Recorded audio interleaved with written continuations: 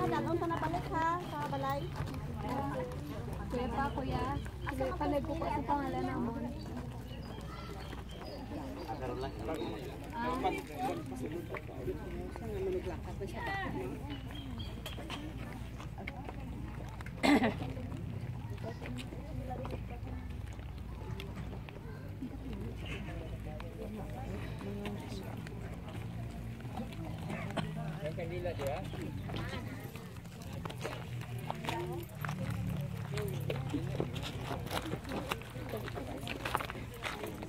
Dahil isa kanila na